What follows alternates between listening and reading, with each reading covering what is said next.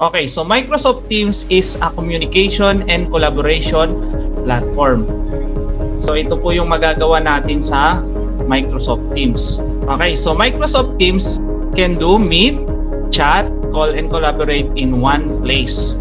Okay, kung sa Google Classroom, classroom lang talaga siya. Pero ang Microsoft Teams po, nandito na po lahat. Number one na matututunan nyo dito, creating teams and channel. So, paano nga ba gumawa ng teams and channel? So, punta po tayo sa interface ng Microsoft Teams.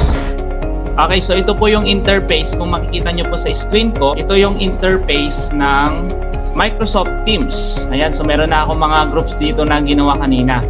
Ito yung mga section namin sa section namin sa grade 4. Ayan. Okay, so dito sa uh, taas po, yan i-zoom ulit. May tab dito sa left side. Okay, so dito sa activities po, makikita natin lahat ng activities dito. Mga notification kumbaga in short. Then, okay, so familiarize ko muna kayo. Okay, so dito naman po sa chat, uh, para po siyang group chat. Pwede siyang group or chat. So, ayan. So, ito yung mga chats ko. Okay, Teams. Ito po yung pinaka-importante. Teams. Nandyan po yung mga ginawa kong Teams. Then, assignment. So, dito po nilalagay lahat ng assignment. Pwede siyang quiz or pwedeng assignment na let's create.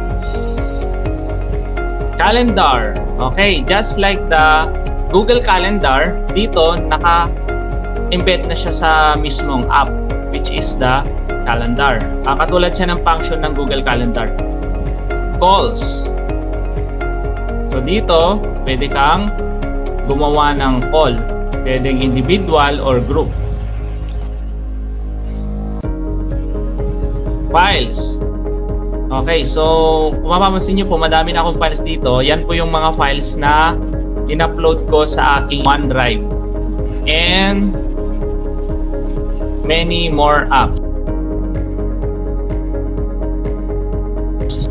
Okay, so tuturuan ko kayo ngayon kung paano mag-create